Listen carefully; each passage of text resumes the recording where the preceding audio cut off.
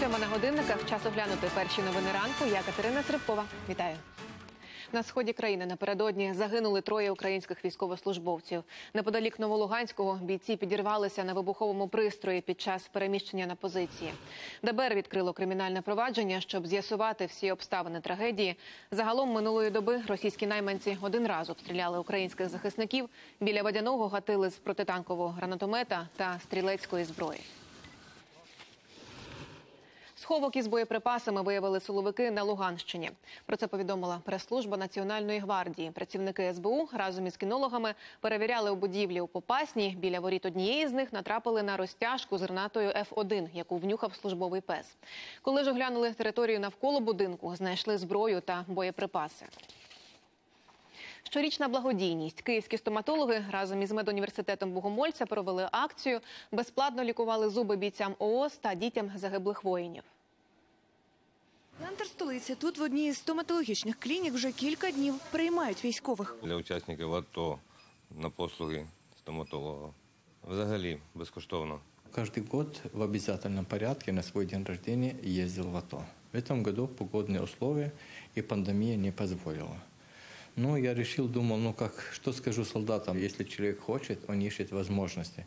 Если он не хочет, ищет оправдания. Так у меня оправдания нет, мы принимаем пациентов здесь. Цьогоріч пацієнтів лікують не в одній клініці, а в трьох. Прийом триває три дні поспіль. Анонсувало його у соцмережах. Я служив 61 бригада, 15-16 рік, Новгородська промзона. Е, Тут я прочитав об'яву, що е, прийом для учасників бойових дій проводиться.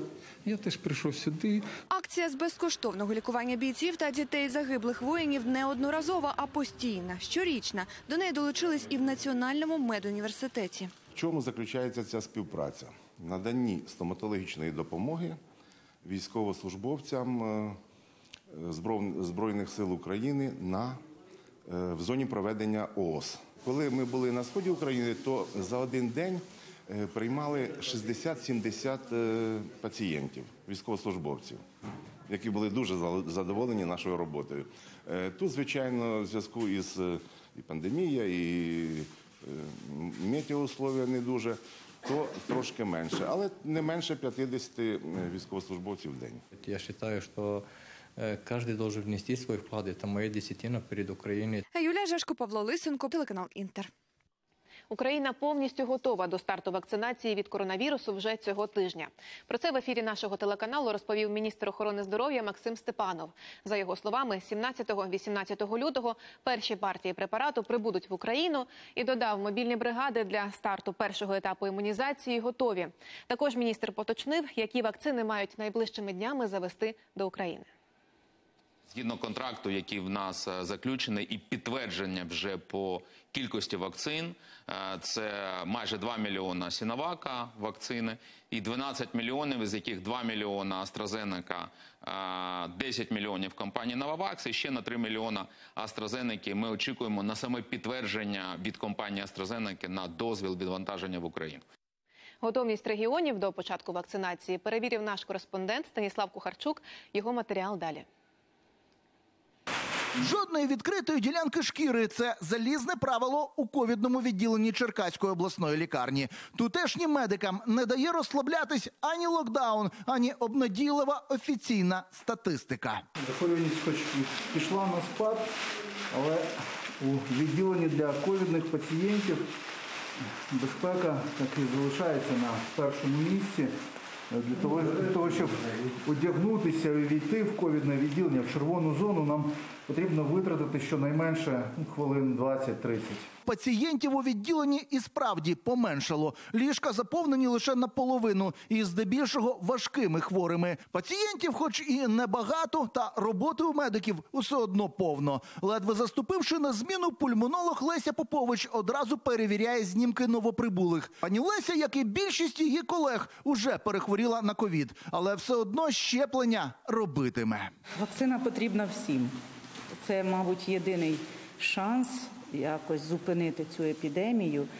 зупинити цю хворобу, яка до кінця не зрозуміла людству, і від якої немає специфічних якихось засобів лікування. Це кабінет, в якому планують вакцинувати лікарів. Колишню маніпуляційну в Черкаській обласній лікарні обладнали тиждень тому. Для надзвичайних ситуацій тут є спеціальний набір. Вакцина, хоча і безпечна, каже алерголог Наталя Гармаш, але передбачити індивідуальну реакцію організму на будь-який препарат важко. Якщо ми говоримо про анафілаксію, тобто негайну реакцію на проведення вакцинації, при втраті свідомості, при зупинці дихання надається допомога Окрім цього кабінету, медики підготували ще дві кімнати для очікування та відпочинку. Єдине, чого тут немає, це самої вакцини. До речі, лікарня зберігати її в себе не буде, бо тут немає відповідних умов. Швидше за все, отримані дози мобільні бригади забиратимуть із держпідприємства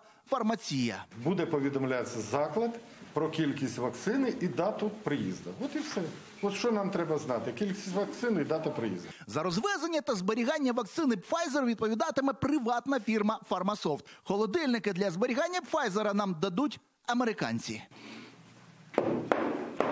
А це аптечка української мобільної групи вакцинації. Вона складена за таким самим протоколом, як і набір маніпуляційній. Сумка-холодильник головний атрибут. І поки це весь інструктаж. Що і як робитимуть медсестра та лікар, поки не знають. Бо цього тижня пройшли лише онлайн-вебінар. Станіслав Кухарчук, Павло Тимошенко, телеканал Інтер.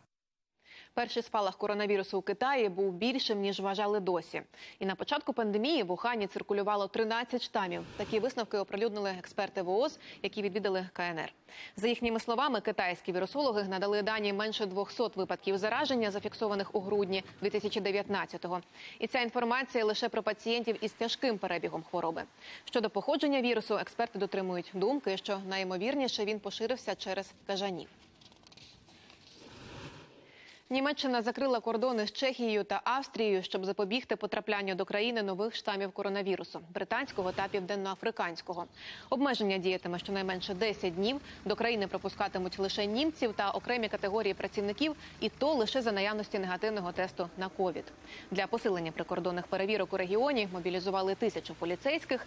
Локдаун у ФРН продовжили до 7 березня. Гвінея оголосила про початок епідемії Еболи. Сім випадків недуги підтвердили на південному сході країни. Троє людей померли. У регіоні запроваджують суворий карантин. Усіх, хто контактував із хворими, ізолюватимуть.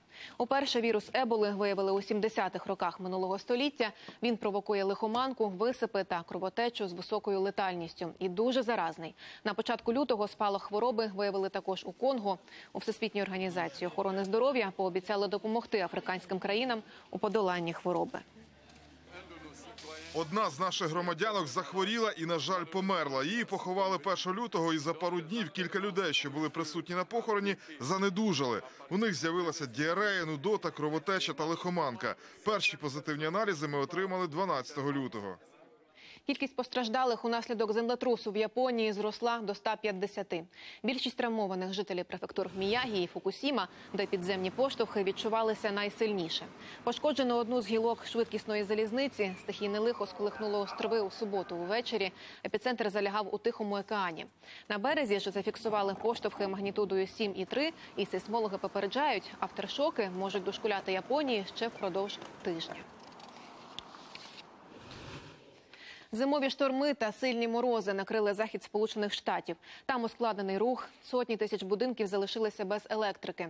Негода обірвала лінії електропередач та повалила дерева. І за прогнозами синоптиків, холоди не полишатимуть регіон. Тож влада просить мешканців не виходити на вулиці без нагальної потреби. 10 років на службі. Поважний кар'єрний ювілей відзначає Кіт Ларі, штатний мишолов у резиденції британських прем'єрів. На Даунінг-стрит він потрапив із притулку і відтоді встиг попрацювати при трьох очільниках уряду. На урядовому сайті зазначено, що Ларі проводить дні, вітаючи гостей та перевіряючи старовинні меблі на придатність для сну. Що ж до прямого обов'язку боротьби з гризунами у будинку, хвостатий чиновник, мовляв, досі перебуває на стадії тактичного планування. На цьому поки що все.